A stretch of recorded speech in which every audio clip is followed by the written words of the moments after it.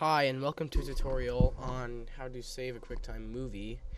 First thing you're going to go ahead and have to do is find a QuickTime movie like this on Apple's front page. Hold your mouse down, drag it over the QuickTime movie so that you have it selected. Right click anywhere else on the page, click view selection source. You have to be using Mozilla Firefox.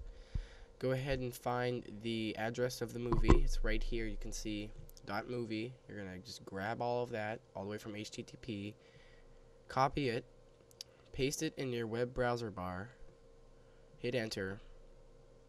Gonna go ahead and find a embedded QuickTime movie here as if you would find a real source. Go to File, Save Page As, blah blah blah dot movie, and then you would have a dot movie wherever you would like to have it, and it'd be done.